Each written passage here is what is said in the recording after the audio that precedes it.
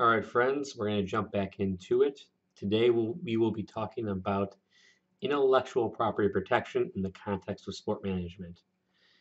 Intellectual property is something that's important to discuss for those who are interested in sport management because sport management oftentimes deals with marketing, branding, sponsorship, and other types of areas where an organization or an individual is working with trademarks or copyrights and sometimes even patents.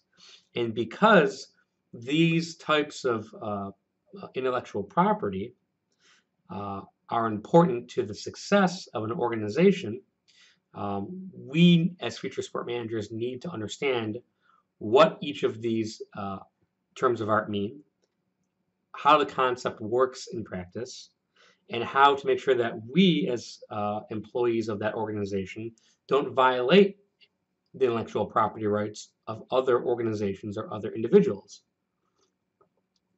So therefore, understanding intellectual property is a must. Let's start with a brief example about why we would uh, study intellectual property. On the left is a hat uh, from the University of Miami, a very uh, famous and well-known college uh, uh, or a university, and also has a pretty um, pretty well-respected athletic program. On the right is a logo from Spalding University located in Louisville, Kentucky. And if you can see, both of the logos seem to be similar. The color schemes might be different, but the uh, two uh, logos that form a U look similar to the point that we might ask, well, is is the only thing different between the two hats the color scheme and is there some sort of uh, relationship between the two logos? And in that situation there could be an issue with intellectual property specific to trademarks. So for us as future sport managers it's incumbent to understand what a trademark is and what other intellectual property is in terms of what's used in uh, within sports organizations and how to properly properly use it and not to violate any the laws related to the intellectual property. So intellectual property in sport um, comes in four to five different aspects here. We, uh, for the purposes of this presentation, the textbook talks about patents, copyrights, trade dress, trademarks, and trade secrets. Now, we're more concerned about trademarks, and that's what the predominant part of this presentation concerns. However, the textbook also talks about patents and copyrights. And how intellectual property works is it's really defined as uh, pr products that we cannot touch. It's intangible. And companies often invest large sums of money and time to develop them so that it can be used to benefit the organization. And that comes in the form of either patents, copyrights, trademarks, or something of the like. So a trademark is intended to distinguish a company's good or service from its competitors in the field and to uh, educate the public about certain characteristics about their good or service. Now, patents copyrights and trade secrets um, don't really educate the consumer and safeguard the consumer about what uh, product or service they're using. Instead, uh, patents, copyrights, and trade and, and trade secrets reward the organization for their investment in developing technology or um, their development of some sort of creative artistic expression that's been uh, secured in a, some sort of uh, medium like television or the web or radio. And trade secrets are uh, some sort of secret formula or something related to that that an organization comes up with and they are going to use it for a competitive advantage. So patents and copyrights protect inventions and creative works respectively. Trademarks in the law of unfair competition uh, are more about protecting consumers from deceptive trade practices uh, or advertising that competitors might do. Um, the principles of trademark law that we're most concerned about uh, come from the Lanham Act. Lanham, Lanham Act is a federal statute that was passed by Congress and it protects what are called trademarks, which are defined as a word, name, or symbol or something similar that's been adopted by a manufacturer or merchant to identify goods and distinguish those goods from any others that are manufactured and sold in the field as competitors. Service marks, on the other hand, are any sort of mark that's used in the in connection with selling or advertising services of one person and distinguishing it from its competitors. For example, San Antonio Spurs uh, are a professional basketball team playing in the NBA, located in, in San Antonio.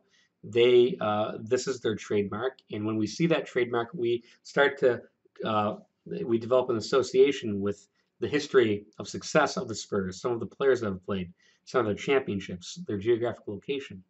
Whereas we get a completely different association with the Grand Rapids Drive, which is a NBADL team that we really don't know that much about, so we don't really have strong feelings about it. Same happens with goods.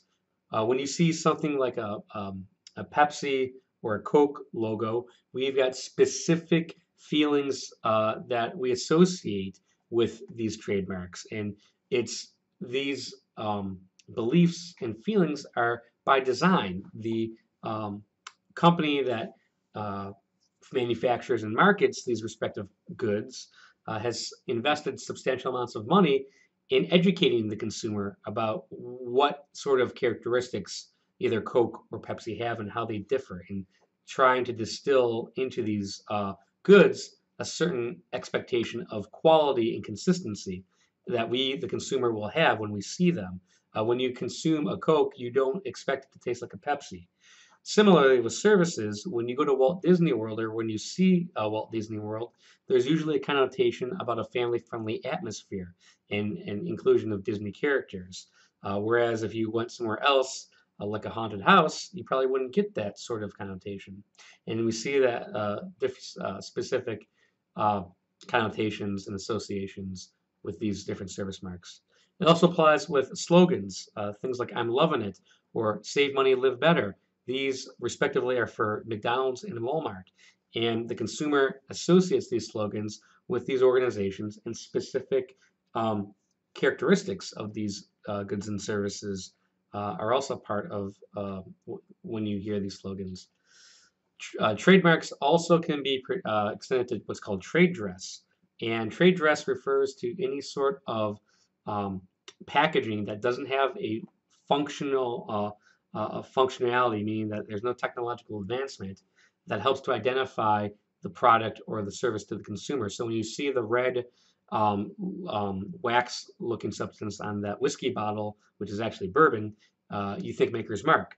When you see the foil around the milk chocolate candy with the little tissue, you think uh, Kiss.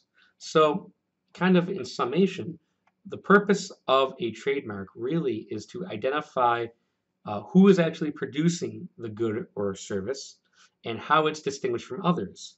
Um, by understanding the trademark and where that product comes from, the consumer can be protected from deception or confusion from others other organizations or companies that might want to free ride uh, on the goodwill of, of another company's mark and try to confuse the consumer into thinking that other company's product or service is made by the company that we associate with being of high quality.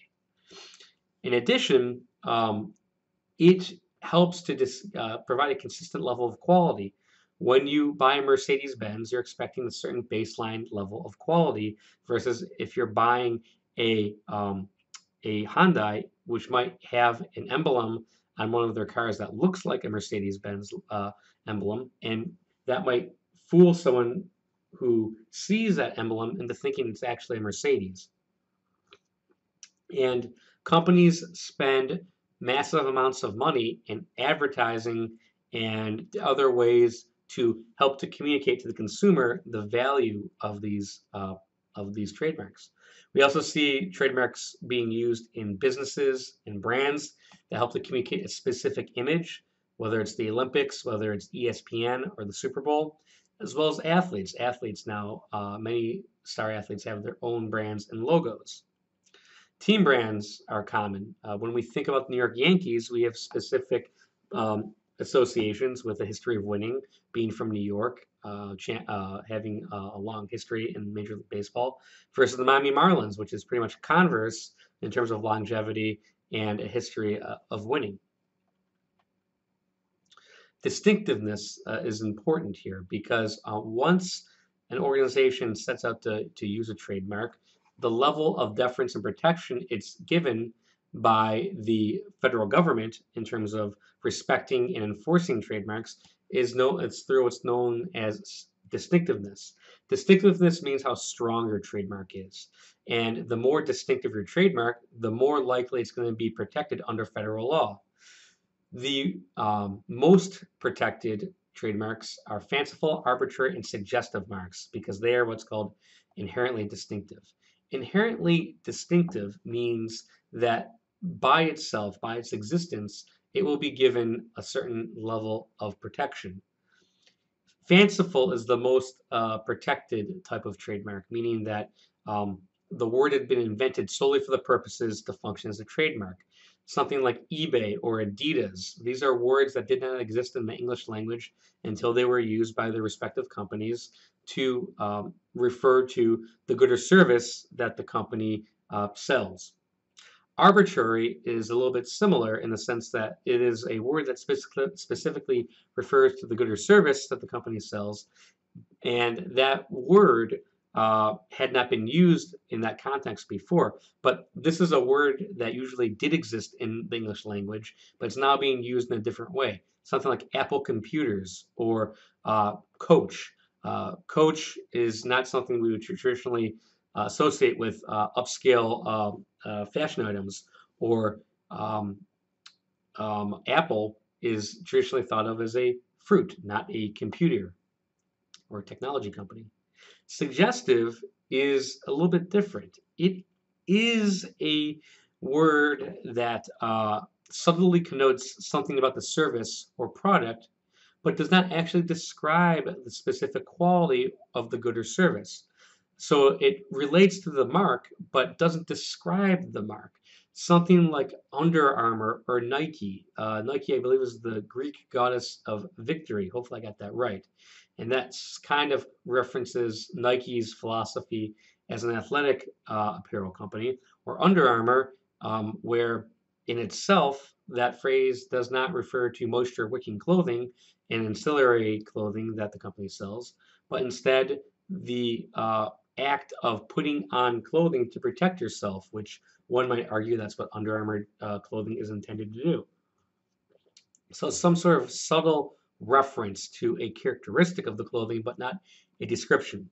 With these three different classes, um, a company applying for trademark protection will receive the uh, comparatively uh, different levels of, an, of inherent distinctive protection. Descriptive marks are marks that describe an aspect of the product, its function, its use, etc. And it's not something that's given in uh, immediate deference as being a valid trademark. And instead, uh, in order to receive trademark protection, that trademark must um, obtain secondary meaning. So the National Football League is descriptive because it describes the league that that uh, that that uh, carries out professional football games. So in order to gain secondary meaning, there needs to be some sort of evidence, whether it's through surveys or interviews, that connect the good or service to the company as the sole source of that good or service. And once the um, a company can prove that, it's submitted to the, to the federal government through the U.S. Patent Trademark Office, and a process is is uh, undergone to determine whether or not that um, logo or trademark does have secondary meaning. If it does, it's granted protection, and if not, it is not granted protection. Finally, generic marks actually refer to a class of products like Zamboni or Kleenex or Xerox. And here we've got an example of the Zamboni being subject to what's called genericide. So if a trademarked term at some point goes from being uh, something that is uh, does qualify for inherent distinctiveness protection or has secondary meaning, but then begins to refer to a class of names, descriptive names, um, it no longer it qualifies for a trademark because a trademark cannot just describe a, a, class of names. It can only describe one good or service because if it described a class of names, that would create confusion amongst the consuming public. So Zam a Zamboni ice surfacing uh, machine was really um, supposed to refer to one type of ice resurfacing machines, but now it's common that all ice resurfacing machines are referred to as Zambonis, and that's bad for Zamboni. So they very well might send out cease and desist letters uh, to companies that market themselves as Zamboni machines when it's just a, it's actually an ice resurfacing machine.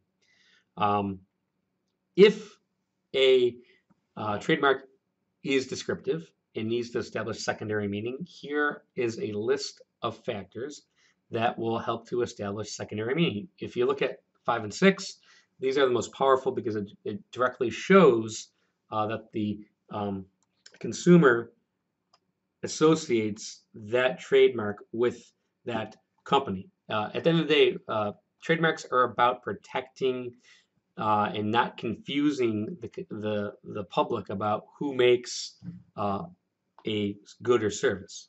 So here's just a little spectrum of distinctiveness going from uh, fanciful uh, which is the most protected, down to generic. We don't want generic. And as you can see, the most protectable is fanciful. So hopefully this is helpful. So as a brief example, uh, back in 2012, Adidas, who was the official sponsor of the World Cup for it, uh, and used its uh, wanted to create a soccer ball for the World Cup, um, sought to trademark the, the term Brazuca to name the ball that was used as the World Cup soccer ball. Brazuca as a word is made up. It's original. It did not exist in the English lexicon before it was registered. It also conjures up the word Brazil. It sounds like a Spanish term. So what protection, if any, would fall under for trademark? If it had not existed as a word before being invented, then it would be fanciful, which means that it would receive full protection. And that's why the USPTO registered uh, the application and accepted uh, this as a valid trademark in 2013. Now, while a range of different aspects, whether it's a symbol or a word or a phrase or uh, trade dress can be protectable as a trademark, color can also be registered as a trademark through secondary meaning. So there's a case involving these four universities and their athletic departments who sued uh, Smack Talk Apparel, which was using uh, the university's primary colors, like in this case LSU's purple and gold, to create T-shirts uh, that would, in a sense, free ride off of the um, well-known nature of these athletic departments. So you can see on the front, this shirt said Bourbon Street or Boston, and on the back it said it'll be sweet as sugar to refer to LSU competing in the Sugar Bowl. Now, uh, LSU and the rest of, of the schools sued for the trademark infringement on the basis of color. Uh, and Smack Talk said, no, color is not trademarkable. Um, however, the court ruled that yes, color is trademarkable if it attains secondary meaning. If enough people would associate the colors purple and gold with LSU, um, uh, crimson and cream with Oklahoma, etc. Or actually, is that Oklahoma or Alabama? It is Oklahoma. Getting old. So that's important. Just like uh, colors, uh, trade dress is protectable as uh, a trademark in a sense, and that's uh, any sort of packaging that's distinctive and it doesn't have any sort of functionality because if it has functionality, provides some sort of utility, then it's uh, more likely to be given uh, patent protection.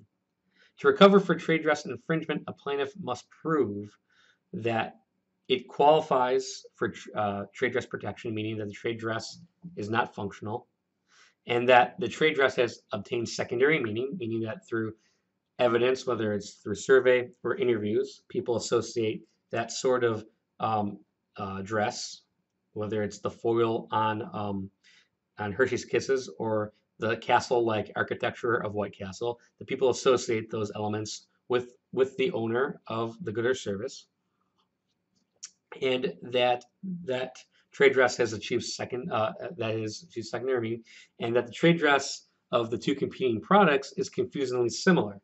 So that's what we're really concerned about with when we're talking about uh, infringement. Infringement is um, the the um, the output of where you have two confusingly similar marks that appear to uh, somehow uh, deceive the consumer. At the end of the day, we're, we're uh, concerned about not deceiving the consumer. So if there's two marks, like down here, 7-Eleven and Super, if the consumer believes that the super mark is actually related to 7-Eleven, that could create a likelihood of confusion. So um, first, in order to have a valid trademark infringement cause of action, we the the uh, plaintiff's trademark needs to be protected, usually by registering with the federal government, and you get that little R right here.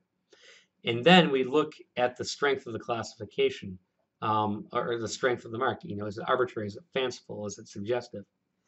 And then we look to see uh, whether or not the um, other mark is likely to cause confusion. So the key issue is how likely is the consumer to be confused.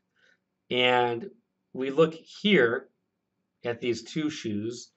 If the consumer wrongfully attributes uh, the owner or manufacturer of these two shoes, let's say that uh, if you look on the left, that's an Adidas, or that on the left is a K-Swiss shoe, and the right is an Adidas shoe. But if, if by taking survey evidence, the consumer actually believes the opposite, then that would be evidence of likelihood of confusion. So absence the showing of likelihood of confusion, there is no wrong.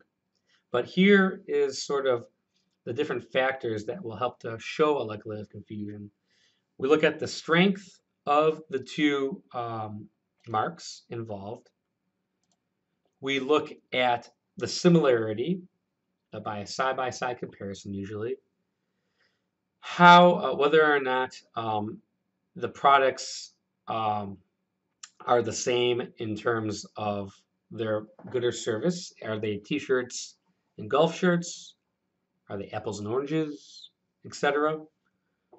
We look to see if there's actual likely uh, consumer confusion, if you can introduce evidence showing confusion, and we look to see whether or not the defendant actually knew that this other trademark existed and still used their trademark anyways, ignoring the potential for the consumer to be confused or or worse, trying to capitalize on the on the consumer recognition of the plaintiff's marks. Now finally look at the sophistication of the buyers. So here is an example of a likelihood of confusion test using the Polaroid factors. So in the middle here, we've got the intellectual property of the University of Georgia, the Bulldogs. And then in between the intellectual property or outside of it, you've got the good, which is Battlin' Bulldog beer. So if we were going to try to decide if we were playing uh, judge whether or not there was a likelihood of confusion, we would compare all of these marks or all of these um, all of these uh, prongs of the Polaroid factors to decide whether or not infringement exists. So we look to see at how strong was the mark of the University of Georgia. Um, Georgia Bulldogs, that's more descriptive, so it would need to get secondary meaning. Um, Battlin' Bulldog beer, uh, that would also be descriptive. Uh, we look at the how whether or not they look the same, the marks, and we look at the products. Are they the same? We looked at uh, whether or not the consumer has would be confused. So I'll leave it up to you folks to decide whether or not this was infringement. So if by chance a defendant was found to be in violation of trademark laws due to infringement, there are certain defenses that the that the defendant can uh, employ. Fair use basically means that it's a public policy defense, meaning that uh, yes, we're we're in, engaging in infringement, but we are not uh, liable because of something else, such as perhaps um, that it's for educational purposes, or if uh, we're trying to use it for the purposes of something it, for it being newsworthy, um, or if we're doing comparative advertising. Uh, but uh, if there is some sort of commercial element to the infringer's use, then fair use is probably not acceptable as a defense. Parody is where um, the infringement occurs in the context of some sort of social commentary or satire, or they're trying to make a point. Again, uh, it's usually less aspects about commercial speech and more about the non-commercial speech. Uh, speech. Uh, abandonment is where the plaintiff actually has stopped using their mark in commerce, or they um, they just uh, are not continuing to advertise with that trademark. So, for example, a restaurant in New York called the Brooklyn Dodgers Diner was sued by Major League Baseball um, for the use of its uh, mark, and they said that it infringes on the Brooklyn Dodgers trademark. However, the Brooklyn Dodgers trademark had been not had not been used for 20 years, and since that mark had not been used uh, continuously in advertising, um, the diner actually won. Finally, a hot button issue is involving cancellation of trademarks. And um, with this, uh, we have seen uh, the saga involving the Washington Redskins uh, and different Native American uh, um, nations uh, suing for its cancellation based on the notion that it is disparaging or scandalous or against public policy. So uh, right now, um, the Redskins lost on appeal, and this mark was canceled, and it now they're trying to appeal to the Supreme Court.